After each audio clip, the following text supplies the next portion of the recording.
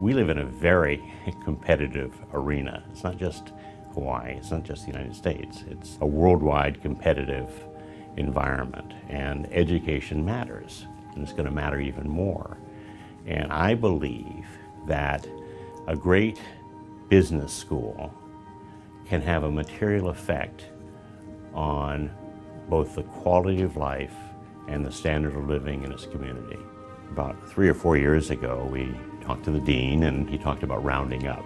And so we, we had uh, decided that $100 million is a pretty round number.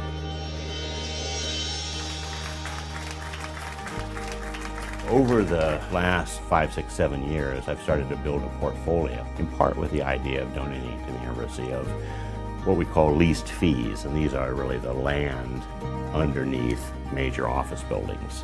When you own the land under a major office building, basically you're just you're collecting one check a month uh, from the building owner, and it creates a highly predictable and very certain stream of cash flow.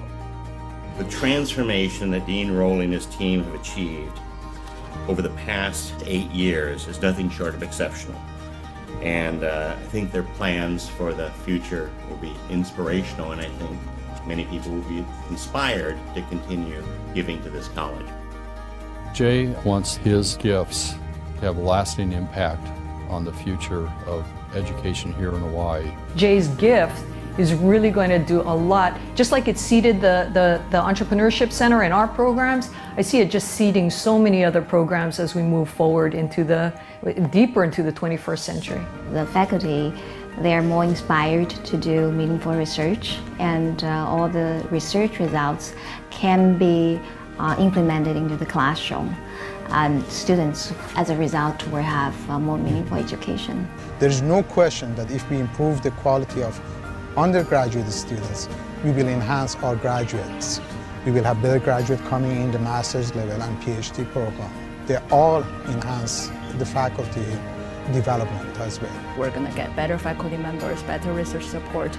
We're going to get uh, better students, and eventually we're going to hopefully become uh, one of the most recognized uh, public business school uh, brand names out there. People are looking to improve. They know that someone's made an investment in us. They're expecting returns, and those returns are in the form of better educational opportunities for our students. The business community in Hawaii relies on our students as their employees. And the better our students, the better we can train our students, the happier our business community will be. They get better jobs, they have a, a richer educational environment here, and they live better lives. And, and that translates into a better community. Success breeds success. You know, people are going to want to jump on the bandwagon and really make it an even better uh, school than, than even Jay could imagine with his $100 million gift.